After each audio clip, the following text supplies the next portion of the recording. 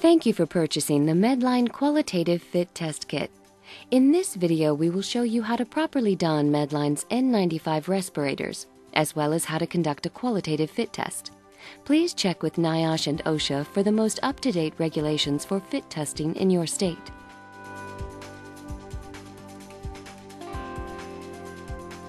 First, open the respirator. The best way to do this is by grasping both the nose piece and the chin piece and snapping it open. If done properly, this will activate the magic arch. A pocket is formed in the respirator. Make sure you do not tear the respirator when you open it fully. Next, conform the respirator to your face. Place your chin in the pocket while holding the nosepiece securely to your face. Move the bands toward the top of your head.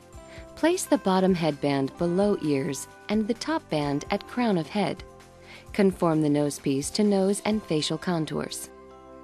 Then fit the mask to your face by holding the respirator at the nosepiece, gently placing one finger inside the chin pouch of the respirator and pulling down under the chin so the respirator fits snugly against the face. After pulling the excess material towards your chin, pinch the white band together under the chin and twist the twist seal chin piece. Doing so will tighten the excess material. Make sure you pinch and twist the twist seal and not just the excess material. The final step is the fit check. Place both hands along the edges, left and right side, as well as the top and bottom of the respirator, and exhale sharply. If air escapes at your nose, adjust the nose piece. If air leaks at the edges, untwist the twist seal chin piece and repeat the previous steps. To properly don the cone style N95 respirator, hold the respirator with the nose piece at your fingertips, allowing the headbands to hang freely below your hand. Press the respirator firmly against your face with the nose piece on the bridge of your nose. Stretch and position the top band high on the back of the head. Stretch the bottom band over the head and position it below your ears.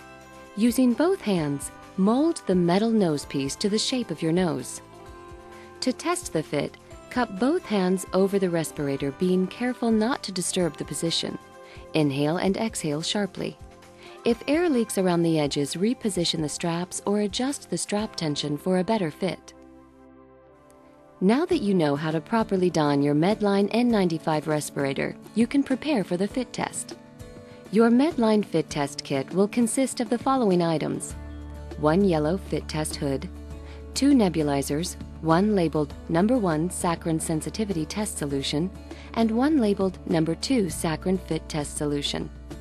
One bottle of sensitivity solution, one bottle of actual fit test solution, instructions on fit testing, and two nebulizer replacement insert parts. These items do not come with the fit test kit, but are recommended to have on hand when conducting fit testing water, paper, and a watch or stopwatch. Before you begin the test, explain the fit test protocol to the subject. Make sure the test subject hasn't eaten or drank anything other than water in the past 15 minutes, as this may affect the detection of the saccharin solution. You should also record the type of respirator being used, brand, model, size, and the name of the person being tested. First, unscrew the bottom half of the sensitivity nebulizer and pour approximately one teaspoon of the solution into the nebulizer. Make sure you are using the nebulizer with the red text and the sensitivity saccharin solution bottle, which also has red text. Once completed, you will unscrew the second nebulizer and pour approximately one teaspoon of actual solution into the nebulizer. Make sure you are using the nebulizer with the black text and the actual test saccharin solution bottle that also has black text. Next, you'll assemble the hood by connecting the snaps on the hood together. Doing so will assure more stability of the hood. The fit test procedure is broken down into two stages, the sensitivity test and the actual fit test. The sensitivity test is performed to find out an individual's ability to detect the saccharin solution. The sensitivity solution is made up of the same ingredients in the actual fit test solution, just at a much lower concentration.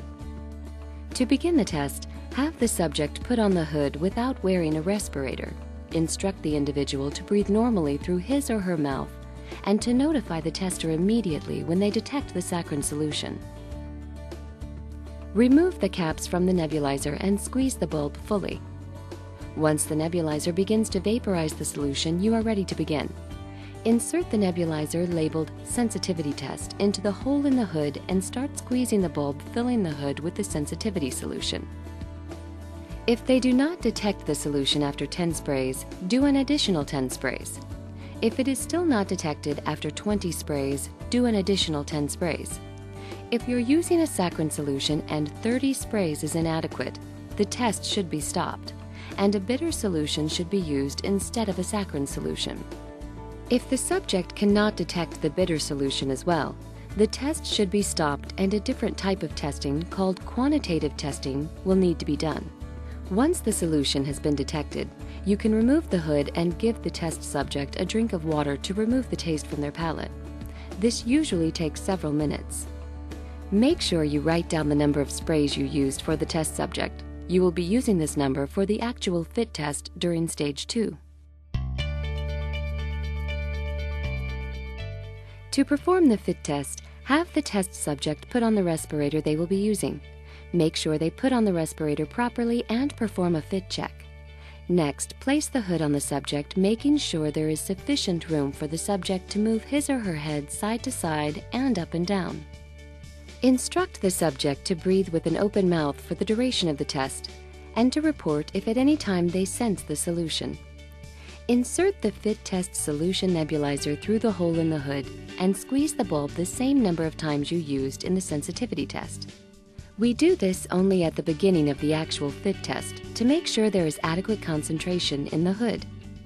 To maintain the proper aerosol concentration while conducting the fit test, you need to spray half of the number of sprays used in the sensitivity test every 30 seconds of the test. For example, if it took 10 sprays to detect the solution in the sensitivity test, you should add 5 sprays every 30 seconds. Instruct the subject to perform the following series of exercises for 60 seconds each. Normal breathing, deep breathing, turning the head side to side, pausing for a breath at each extreme, moving the head up and down slowly, pausing for a breath at the top, talking or reading out loud, and bending at the waist or jogging in place. If the test subject can perform each exercise for 60 seconds without detecting the solution, then an acceptable fit has been reached and the subject has passed the fit test. If the subject has reported tasting the solution, they have failed to reach an acceptable fit and must redo the fit test. The subject should wait at least 15 minutes before retaking the test. After completing the fit test, you should screw the caps on tightly for each saccharin bottle to preserve the solution. Remove the tops of each nebulizer and rinse with warm water to prevent the nebulizer from clogging. And finally, wipe out the inside of the fit test hood. This should be done prior to each individual fit test to remove any solution residue. If you have any questions, please contact Medline or check the NIOSH or OSHA websites for the most up to date regulations for fit testing.